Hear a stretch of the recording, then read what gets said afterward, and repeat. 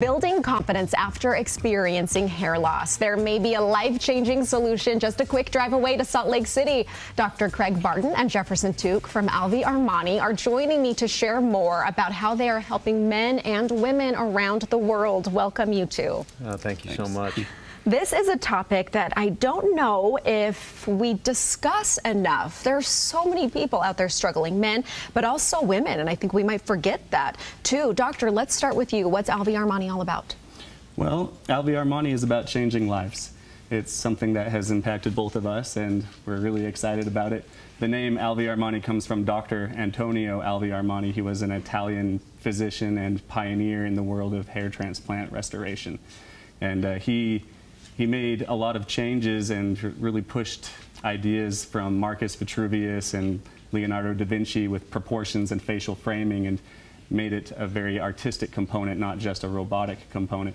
He trained Dr. Babak Hayatdavoudi, who in turn trained me, and uh, we are excited about what we do. Oh my goodness. Alvi Armani is the number one hair restoration clinic in the world, now in Salt Lake. So this is so huge. Let's talk about the procedures and what happens. Jefferson, you said you were a patient as mm -hmm. well. Both Absolutely. of you were. You would never, ever know. I, I, don't even, my mind is blown. Talk me through what you experienced. Yeah, yeah. I mean, it's, it's, uh, it, I guess the most important thing about a hair transplant procedure is that it's not noticeable, uh, that it looks natural. Um, and that's something that Alvi Armani specializes in. As Dr. Barton had mentioned, uh, both of us had the procedure and it completely and utterly changed the trajectory of our lives. Wow, that's huge yeah. to hear you say that. I was just going to ask, is it a game changer, a life changer? Yes. Yes. Is that the typical feedback from patients? They say, this changed my life. Absolutely. It's something that some people might feel like it can be superficial, but really that's not the experience that we see.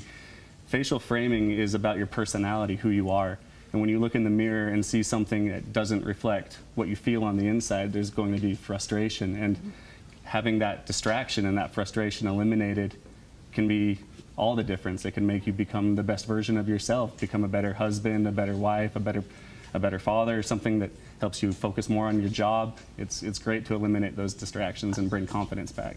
Not only is it physical, but it really does affect you uh, mentally, emotionally. So it's everything that is being helped by going through this process. So how long does it take, a typical procedure, and then what's recovery like?